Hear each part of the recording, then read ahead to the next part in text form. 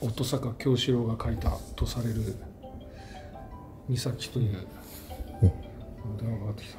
ちょっと中を覗いてみましょうか。